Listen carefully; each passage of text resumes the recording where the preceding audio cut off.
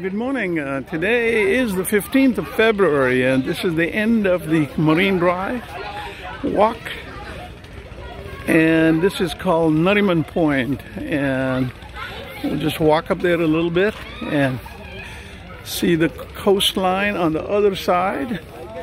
And reputedly, uh, this is how the terrorists came through this gap and landed on the coast on the left hand side.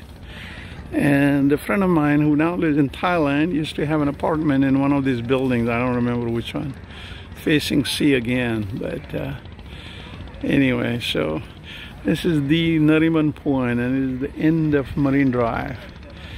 And turning the, making a U-turn here and showing you this apartment building here and these were or maybe even today are some of the most expensive apartments in India but looks like a shithole as usual rich people but no maintenance.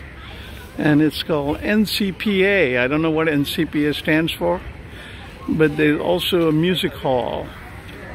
And and they often have these Western stuff like symphony orchestra, as you can see here. Yeah.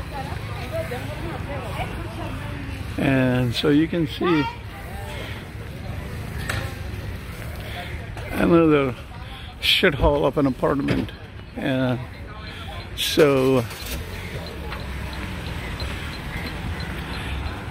So that's about the end of the Marine Drive and we walked about maybe two miles and I'll just show you this NCPA. I don't know what NCPA stands for, but there is that NCPA. And uh, maybe better here, NCPA. So, c'est la vie, in shithole.